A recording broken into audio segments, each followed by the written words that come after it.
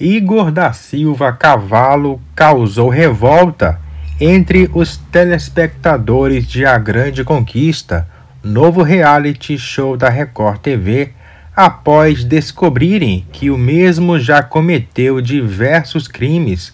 No Instagram, as publicações do professor de jiu-jitsu foram alvo de comentários pedindo sua saída do programa.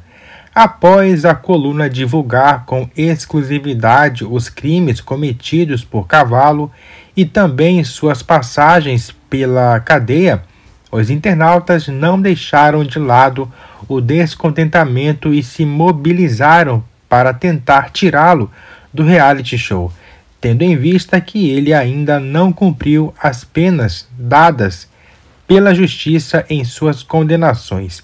Lugar de bandido criminoso não é na TV, é na cadeia, escreveu um dos usuários.